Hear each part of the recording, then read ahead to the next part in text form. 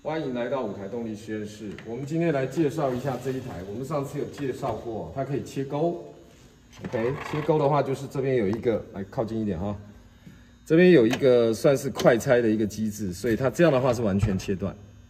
但是当它搬到这里来的时候呢，这个螺丝可以调整它的深度，就可以决定这个切钩的深度啊。比如说我希望切浅一点，啊，这样就会切浅一点啊，以此类推。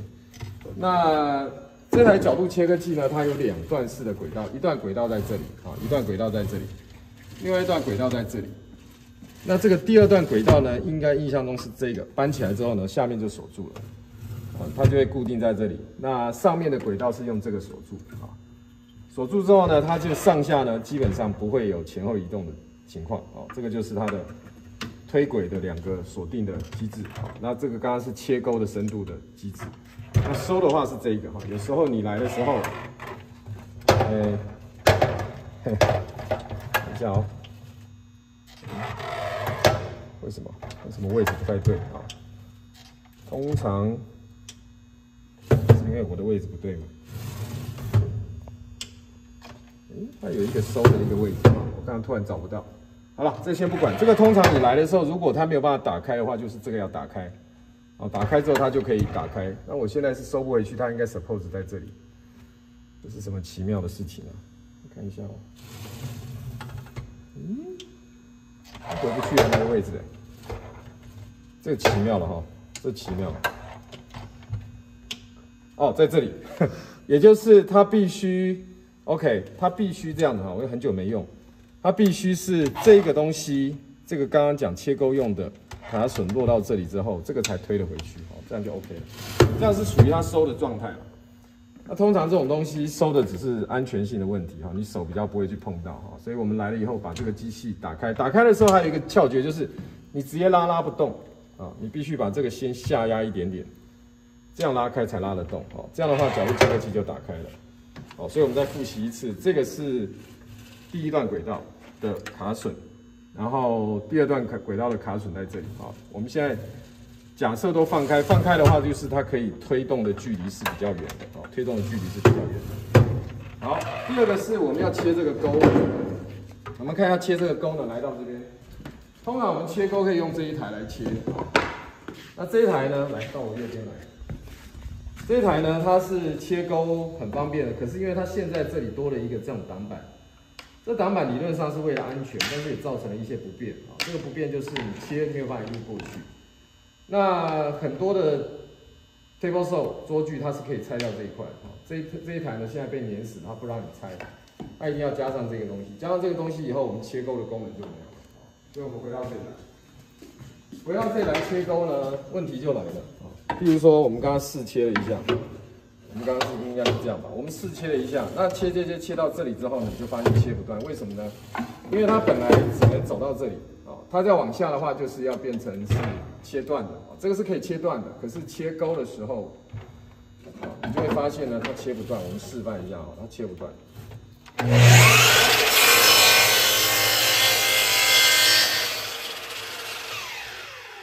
我刚为什么到这里就起来呢？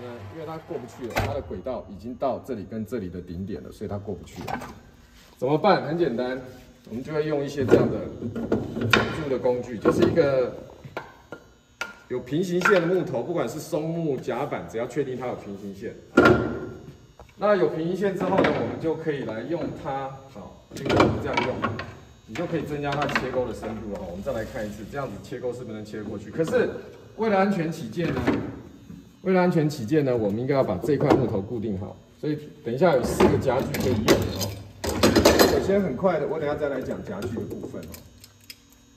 我等下再来讲夹具的部分，我先用。最阳春的方式，把它很快速的夹起来。好，那等下这四个夹具会分别的示范一下。好，这样这个如果不适合的话，就要换。譬如说，基本的夹具，啊，就是这四种。这个很久没用它，这个位置也不适合。看起来是这个最好用啊，看起来是这个最好用。所以，所以为什么我们会需要四种夹具呢？那这个其实如果再选一个可能会更好，这个可能也不见得很适合。这个会有一点入侵到它的范围哦。找来找去没有很适合的，这个好像差不多了。来，现在我们用这个好了。它主要的目的就是不要让这个木头呢会有机会翻转啊。但是我们现在夹的位置很重要，因为夹的位置如果不平均的话，它就会翻转起来。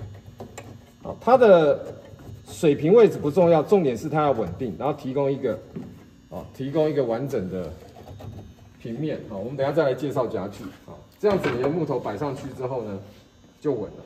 那再不行的话，我们可以在这里固定啊。这个桌面其实理论上都是可以锁螺钉的啊。这桌面理论上是可以锁的，你，也可以在这里去固定一个东西。好，我们就来看看这次能不能把它切断。好，来，请看示范。哦，还要注意一件事情，这个木头不需要去切它。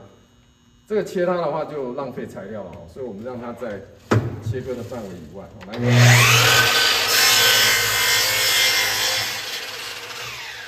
这次我们就完整的。切过去了，啊，完整的切过去了。那这个切割的深度呢？用这一台有个缺点，就是你会发现这边的切割深度跟这边的切割深度不一样。为什么呢？主要是这个有一点弹性啊，这个有一点弹性，各位看得出来吗？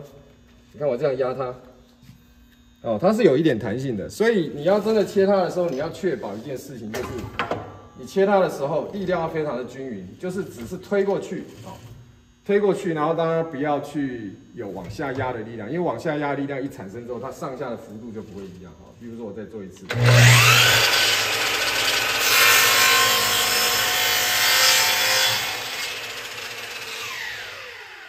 很难哦，你看很难，甚至呢，我们发现一件事，它两边的深度不一样，两边的深度不一样，发现了吗？两边的深度很不一样，所以呢。第三种工具，第三种工具就会考虑用雕花机。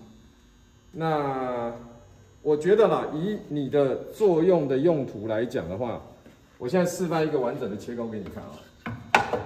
就是假设是，假设是这样，假设是这样，我切一次啊，我们会先切第一边。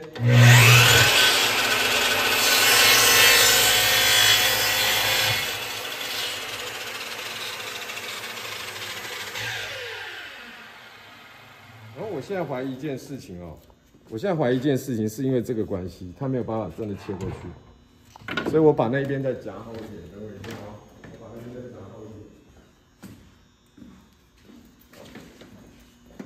点，可能就可以试一下，确定不确定是不是这个原因哈，找那片看起来比较干净的，然后用这个夹具。应该有可能是这个原因啊，如果是这个原因，就容易解决。那就是剩下就是出力的时候平均一点就好，好，这样会翘起来，对不对？你看啊，这是刚刚的问题。所以夹的时候呢，好了，主要是不要让它可以左右移动就好。我们再试一次。所以我这一次呢，应该是会比较把握呢，它可以在平均的状况，平均的状况下完成切钩。平均的状况下完成切钩，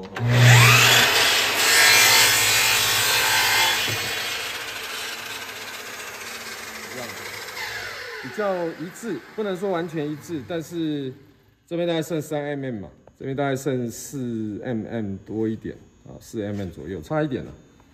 好，那所以刚刚那个问题是不是发生在那个原因哈？所以，所以假设你切完第一条啊，然后假设。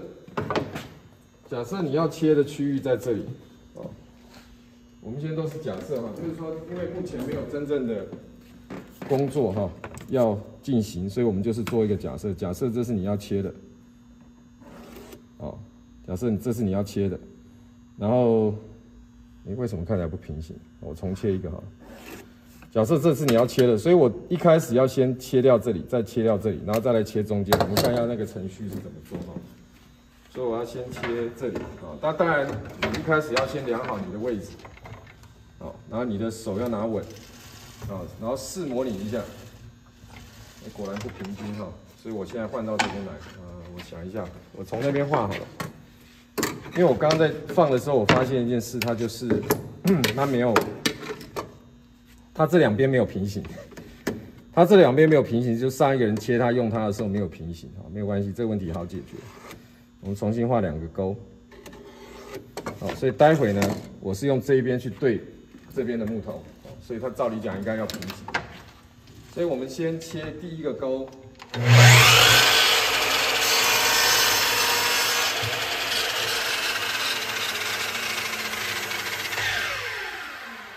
为什么切的比较比较浅啊？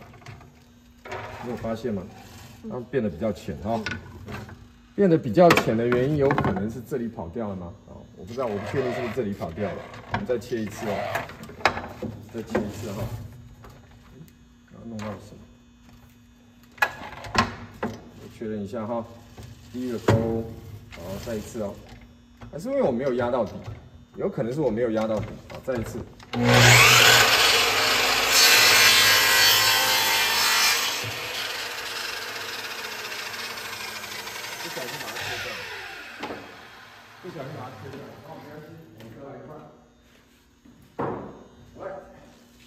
工作中会遇到的情况哈，都没有什么好大惊小怪的。One more time。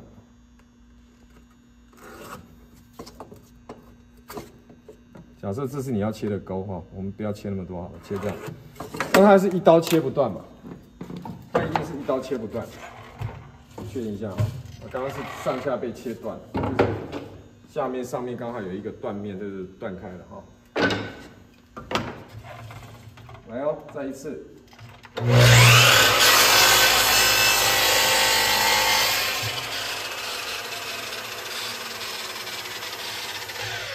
你要等它完全平哈，因为锯片在高速旋转的时候是很危险的。然后接下来呢，再切一一刀这里，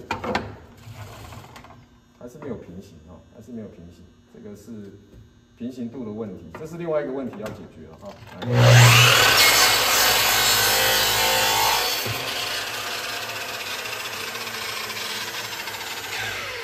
通常，如果你切的钩呃很宽，你要切好几刀，像这个只要再补一刀就好了。哦，只要再补一刀就完成，所以就稍微正对着它。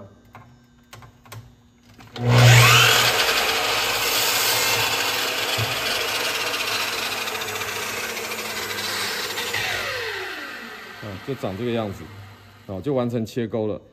这个切钩一定没有 table saw 切的好看，哦，它就会看得出来有一点哦。呃，funky funky，但是还好，所以这时候如果你有一些东西要在里面走的话呢，它可以顺着这个沟走，好，只要两边是平行的就好。然后也有可能呢，如果你第一次切完之后发现不太准的话，可以来这边调角度，它目前看起来是准的。但是这种怎么讲，这个这个都会有一点误差的哈，这种误差是不是造成现在这个原子笔线的误差哦？这就不知道了，要要去校正一下，不然就是要去接受这个。哦，大概是这样子哈。来，我们最后讲一点这个夹具哈。这个是好几种夹具，第一种是这个，哦，这个是 quick release。好，来靠近一点哈，这个是 quick release。所以 quick release 的意思就是这样的话，你就可以上下直接滑动。然后平常它是这样子爬升的，它是这样越夹越紧，好，按这个就爬升哈。这个叫呃，通常叫 quick grip 啊，它是一个快速夹。那这种呢，这种是我最爱用的，因为它是整个是铁做的。几乎是铁的，除了这一块塑胶，整个是铁做的，所以它非常的 robust，非常的强壮。我们夹它的时候呢，不管你要夹什么，通常是这样靠上来，然后这个我们会把它放到最开，这个是也是一个 quick release 啊，这是一个 quick release，也就是说这样子放开啊，我们通常把这个整个打到最开，然后这个上来，这个上来，然后这样子，然后在里面是一个棘轮扳手的概念，啊，它里面看得到吗？这个齿轮。啊，这个齿轮就看起来就像一个棘轮一样，好看得出来，哦，这是一个棘轮，所以夹得非常紧，哦，但是也是一样要看你的场合。然后这种呢，也是有一个快拆，快拆在这里。这种呢，就是用这个螺旋，啊，这边有弹簧，这边有弹簧，用这个螺旋来调整它的开口的大小。那通常我要夹的时候，我是，我顺便示范一下这个怎么开呢？这个就是，那我会找个工具的哈，在弹开的时候力量很大哦，弹开力量是很大的哈，所以我们当然会开，要知道它往哪边转就是。通常我我会稍微含着啊，就是用手抓这里，含着，然后转到我要的大概的尺寸之后，然后剩下一点力量用这里的连杆，一二三，啊，用这三个点的连杆去压它，所以它会过一个所谓的机械死点。那夹不下去，就是你要再放松一点，这样子还是夹不下去，放松一点。一二三，这三个点连连成一条直线，连成一条直线之后就夹紧了。除非你从这里，哦，有点像我们上课讲的那一种一种夹具啊，从这里把它 quick release，啊，不然也是一样，弹开的时候要小心，不要受伤。好，再看一次，这样子，一二三是长这样子的形状，可是弯下去之后呢，变成一二三，整个变成一条直线了。所以这样打开，OK。一二三，最后就是这个，这个很简单，这个就没有什么 quick release 啊，它是完全靠螺旋的力量。那它一旦被夹，它本来是可以很容易上下的，可是它一旦被被这里的螺旋破紧之后，它这里会歪斜，一歪斜之后这里就动不了啊，歪斜之后它会这里会动不了。但是用这类的夹具，你自己要注意安全，就是说一方面是安全，二方面要注意这种哈，因为施力不平均，它就翘起来了啊，所以这个要看。夹的位置哈，因为它这里那个夹的位置呢，本来还有一片，那一片也不知道现在到哪里去了。还有一种东西是可以用这个做，用它上面现成的。刚刚没有注意到这个，其实有这个的话就很快啊。什么意思？就是它这个也是有一个一个上下调整啊。然后假设你这个夹紧了，然后这个夹紧了，这样也可以啊。这样好像比刚刚那个更快啊。更快，但是我们就顺便学到了一些不同的夹具。呃，以上就是今天的舞台动力实验室，谢谢大家。